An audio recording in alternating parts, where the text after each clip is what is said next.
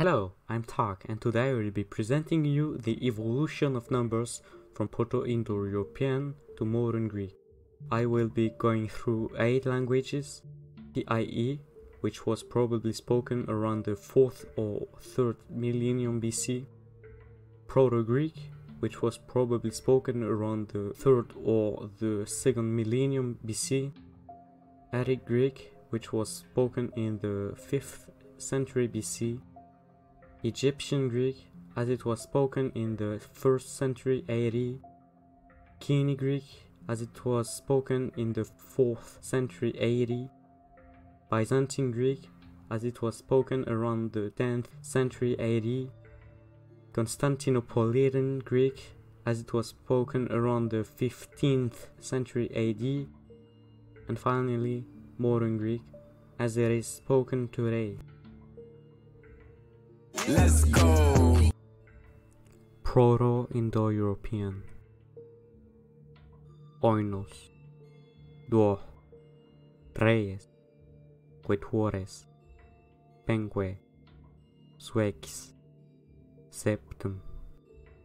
Octo Neon Decim Proto-Greek.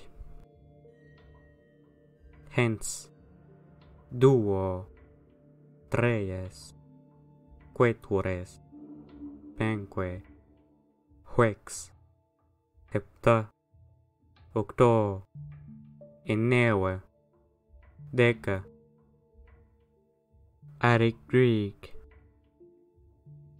hes, duo, tres, tetrares, pente, hex, Hepta Octo Enea Deca Egyptian Greek. Is Duo Tris. Tessares Pente. Ex. Epta. Octo Enea Deca Koine Greek. Is. Duo. Tris. Tessares. Pente. Ex. Epta. Octo. Enea. Deca. Byzantine Greek. Duo. Tris.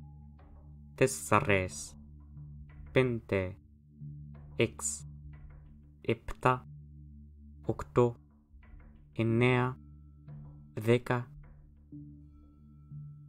Constantinopolitan Greek. Δύο, τρεις, τέσσερες, πέντε, έξι, επτά, οκτώ, εννέα, δέκα, and finally Modern Greek